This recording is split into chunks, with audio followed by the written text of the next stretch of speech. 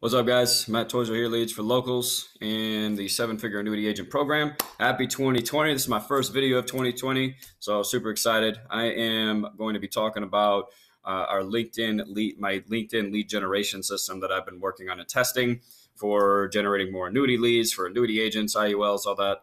And now, technically, we could use this in any niche. I'm, I also use this in the business loan niche as well. So, generating business loan leads for business loan brokers. So, you know, any type of B2B service that you offer can be used for this. Uh, those are just the, the niches that I use them in right now. But the process is the same. So I wanted to walk you through, just give you guys like a 30,000 foot overview of how this system works. And there's really five steps to it. Uh, I did this with Facebook, my Facebook lead generation system, and I got really good feedback on it. So I figured I'd do it for the LinkedIn system that we're working on right now too. So the there's really five steps five main state uh, main steps that we can break down. The first is one of the most important is picking a niche. So the very first thing that we do is decide what niche that you want to target because what I find that uh, a lot of business owners do is they try to sell their shit to everybody and it just doesn't work. Uh, you can do that, but you're not going to make nearly as much money as if uh, you when you pick a niche and you become the expert in that niche and you dominate it, right? So we pick one niche and dominate it. Now you're not married to it. You don't have to stay with that niche forever. But I'm going to tell you this: there's plenty of business to to be had, and you're going to make so much more money selling your service by picking one niche. And then you know, let's say 12 months goes by and you've, you've gone through, you've just completely dominated that niche. And let's say you run out of people to reach out to on LinkedIn, which likely wouldn't happen. But let's just say that it did, or maybe just don't like the people you're working with uh, or the clients. Then we just pick a different niche. But you have to pick a niche first and and focus on just that. Otherwise, this doesn't work nearly as good. So you want to become the go-to person in your industry. That's why whenever I enter a new niche, uh, like the like the annuity industry, where I'm generating leads specifically for annuity agents, uh, it, it works so much better because everything I do speaks directly to annuity agents uh, for that particular service, right? So it's really, really powerful. They see you as a kind of the expert uh, in that particular industry, right? So it's very powerful. So we pick the niche. That's the first step. The profile is next, and really everything else after the niche, uh, everything else kind of follows after the niche because it's everything we do from there is designed around that particular industry and and uh, our messaging for it, right? So the next step is we optimize the profile. Now the profile on LinkedIn is really really important. You want to treat it like a, a like a landing page, and you want to have it speak directly to your target audience. So it needs to be like if you go to my profile, for example, um, you, it, it speaks directly to annuity agents. And so it says exactly what I do and who I do it for. There's absolutely no question, pardon me, there's absolutely no question about what I do when you go to my LinkedIn profile. And this is really important because people aren't just on LinkedIn having conversations. They, they, eh, well, I guess they, they technically are. They're there for business and networking. But my point is, is that they want to make sure that they're having conversations with legitimate people who can actually help them. And if they visit your profile, which most people will visit your profile before responding to a connection request or uh, a message that you sent them, they're going to view your profile first to see if you're legitimate and then go from there. So if you've got if you have a crappy profile, uh, you know, it, it, it, it'll scare people away, right? You're not going to generate nearly as many leads. So uh, there's a couple of things that go into your profile. Obviously, we optimize it for your niche. So go check out my profile. I think it's linkedin.com slash in slash leads for locals. And you'll use mine as inspiration. It's, uh, it's it works really well. It also, uh, kind of as a side note, um, you eventually, especially if you start like posting content or whatnot, you you start to uh, show up on search results. Like if people are looking for a particular service and you have that service in that particular industry, uh, blast it all throughout your profile, you start showing up on search results and you get organic reach. Uh, I've uh, I've been able to get a few clients that way as well. So uh, that's just kind of a side note. But we optimize your profile for your niche so it speaks directly to that industry, uh, directly to your target market. And there's four main parts to the profile. Uh, there's the banner photo, the profile picture, the headline, and the description. The banner photo should uh, it's like it's one of the first things that people see once they get onto your profile because it, it takes up so much space above the fold. So you want to make sure that your banner photo again speaks directly to your audience on what you do and who you do it for. Okay. And and just make it cool looking. Like it does don't don't overcomplicate it, but you know, it, it needs to stand out a little bit and be very specific about what you what you do. Profile pic, again don't overcomplicate it but like if you go to mine i actually you know it's it's different. I'm not in a suit and tie like everybody else on linkedin and i'm not saying you don't you shouldn't wear a, a suit and tie or, or whatever. Wear what you are comfortable with and what kind of you know think about your industry. If your industry is a, a really really professional one you know you might want to suit up a little bit and uh, if not, if it's a little bit more relaxed, I guess I, I, don't know, um, then then don't. But uh, for me, my profile picture, it, it, I'm just really comfortable with with that. Uh, I, I, guess the way I dress, uh, the way I the way I present myself. It's not even like how I dress, how I present myself. Right? For me, it looks like I, I'm I'm really serious about what I do. I'm confident what I do and then I put a little filter on it too, uh, so that it's not like um, like if I were to take a snapshot right here with like colored stuff, I, I put like a gray background, uh, like a gray filter over it, and it just makes it stand out a little bit, so that when people are scrolling through their conversation list, their messages list, uh, you know, you you can stand out a little bit more. So that's really important. Headline should uh, eh, there's a formula that that you can follow. It's basically I help blank. So uh, let me pull up mine. You know what? The heck with it. It's probably better if I just pull up my profile here and walk you guys through this. Because there's a formula that I use for for uh, for headlines like this, and it's basically I help blank. So I help annuity agents do this by this. So I help annuity agents solve this problem by providing this solution. Right? That's kind of the the formula that, that you want to follow. So I help annuity agents generate this many high quality annuity leads every month using LinkedIn, something like that, right? That uh, again, it's uh, one, it helps rank in, in searches, right? So people find me. You see it. So people view my profile, 98, not a ton, but you know, on LinkedIn, it, you know, the, the quality of leads is a lot higher on LinkedIn because people expect to do business and network. So there's there could be some really good deals in just a few uh, profile views. So keep that in mind. So again, just speaking directly to our industry and what we do for them. Okay, and then the description. I'm not going to go through my whole entire description, but basically, it's again, it's just it's uh, expanding into and just providing more details about what I do, but also the pain points that my target audience is experiencing. You know, what are the typical issues and challenges that people are experiencing when it comes to one their industry but also when it comes to the service you provide. So i provide lead generation services. What are some really big pain points involved with generating leads? Well people typically don't like cold calling. They don't typically like doing dinner parties and events and networking and all that stuff. So if i can provide an automated system for bringing in leads and they don't have to do any of that anymore that's that's uh, that's pretty good. So anyways that's the profile. Next is the list. So we're going to be using Sales Navigator to build our list. And Sales Navigator is absolutely fantastic. If you haven't used it before, uh, it's only uh, you get a 30 day free trial, and it's only 80 bucks a month, and you get super, super, super targeted on who you're connecting with. So if you are, let's say, you decide to target, uh, let's say you're you're in the business loan niche and you decide to target restaurants, or let's say you're in the annuity uh, business, you're selling annuity leads and or not, not not annuity leads, but you're selling annuities and IULs and things like that. Let's say you want to target just doctors, right? You can go into Sales Navigator to start to build a very very specific avatar of who you're reaching out to, and this is going to this is a big part of actually generating conversations is making sure you're reaching the right people. Sales Navigator allows us to do that. In Sales Navigator, we can use things like keywords.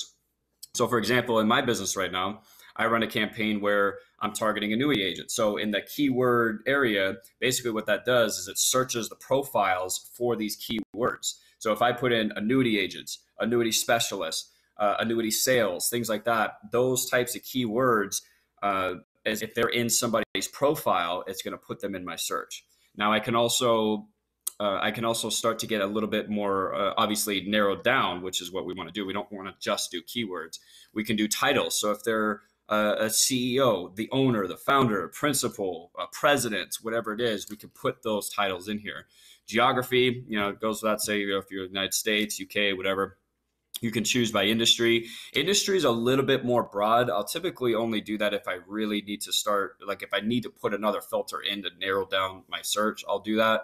Uh, or if uh, there is a very specific industry that is available uh, for search on Sales Navigator, that works really well. So, like if you're going after restaurant owners, there's an industry option where you can choose restaurants, or I think there's one that's food and beverage as well. So that can work really well. Company count is really uh, can be really powerful. Uh, the, the, the, great thing about uh, company counts, like if you're going after business owners, for example, if and, and you want people that are making more revenue, right, who might be a little bit more qualified or, or higher ticket deals for what you're selling, company count can work really good because if they're the president of this particular company and it has, let's say, 100 employees, they're probably making decent money, right? So if you go in offering a business loan or an annuity or whatever, they, they, they probably make decent revenue and they probably have a decent amount of assets that they can uh, invest in, in with your services, right? So this can work really well for getting people that have more revenue and more assets. And then groups. Groups, uh, you know, I only use sometimes. Again, it's one of those things. It's not required, but if I'm really trying to, uh, if like my if my search volume is is massive, like millions of people, I'll add groups to bring it down because typically people are only part of groups if they're more active on LinkedIn. So this is a good way of maybe getting people who are a bit more active, more likely to see your message, uh, maybe more likely to respond, things like that. So that's typically what I use groups for. So that's our list. From there, once we have our list, uh, that's basically when we start sending out, uh, we craft our messaging, right? So we want a non-salesy approach. We want a conversation based. I can't tell you how many like messages I get of people just trying to pitch me stuff. And it's just, it's really, really annoying. So you, you want to try to take a non-salesy approach and, and, you know, what, what would you, what kind of conversation if you were at a networking event, you know, think of LinkedIn as one big giant networking event that you're at. How would you go up to somebody and introduce yourself uh, or start a conversation, right? Now, if you're the type that goes up and like, hey, hey, my name is Matt. I do this, I do this, I do this and uh, hey, do you want to book a call? Maybe we should get coffee. Blah, blah. You know, you're just like you're you're very aggressive. That's probably not going to work.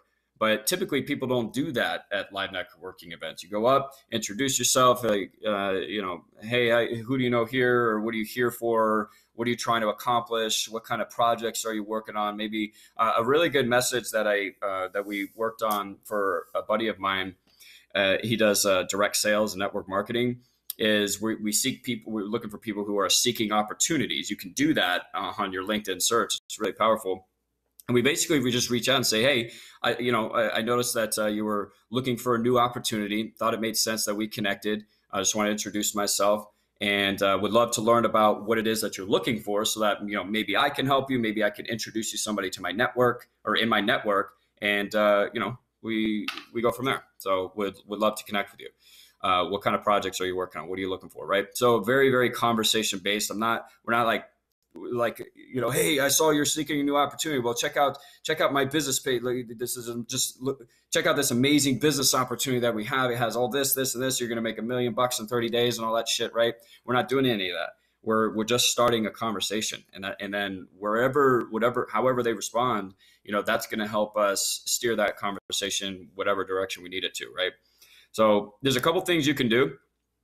Uh, I like inviting people to a LinkedIn group. Uh, they can be really powerful because you control uh, uh the basic. You control who's in the group, what's being posted, things like that. And there's typically a, a decent amount of engagement in groups as long as you know there's really good content and, and, and it's useful to them. But this is a, inviting people to your group is another way that it's just kind of like another communication channel, taking them from one one conversation uh, or one channel of communication to another. So now you can message them and you can you can contact them and be in front of stay in front of them inside the group as well. It's a great place to to put content and and really show off your expertise. Ask if they want a free guide. I, you know, so I typically, so I have free content that I like to send people, but I ask them if they want it. Like we used to, and we just weren't getting as good of a response. We used to, uh, when we were sending out messages, we would just be like, "Hey, you know, thanks for connecting as a thank you. Uh, you know, for all my new connections in this particular industry, I like to send just a free guide that I wrote. It's called, you know, whatever it is." And uh, here it is if, if you'd like to check it out it's up to you. And then we you know we'd ask a question to start the conversation but it just looks a little spammy because when you put a link in the message it it populates like a preview of the page. And it's just i don't know about you but when i get stuff like that uh, you know i was looking at it, i'm like man this looks kind of spammy. It looks salesy uh, and i don't really like it. So we weren't getting as good of responses from that. So i ask i uh, now we would ask like hey you know, uh, as a thank you, I have this free guide, you know, that I wrote for people in this particular industry. And I got some really good feedback on it. People told me it's really useful. Uh, I can send it to you if you'd like. Uh, is that something you'd like to check out? And, you know, continue from there. Uh, ask what projects they're working on. That tends to work. Uh, that tends to, what I'm seeing is that that, that tends to start uh, the conversation pretty well. And from there, uh, we set up the automation, right? So all of this, well, basically these two steps are kind of tied together because the messaging is is the automated part. So we send automatic connection requests and follow up messages until people respond. Right now, we send uh, around 2,000 connection requests per month uh, on complete autopilot, and it's personalized, got their first name, and you know we're taking that non-salesy approach to try and get them uh, to to get them as a connection request. And then from there, our system automatically sends follow up messages once they accept the connection request until they respond. So this takes out a lot of the manual labor involved in LinkedIn. Uh, a lot of business owners that I've I've talked to do use LinkedIn, just not very consistently because it's there's so much manual labor involved in not not only you know connecting with people. That's kind of the easy part, but how do you stay in touch with them or stay in front of them until they respond and actually start the conversation, right?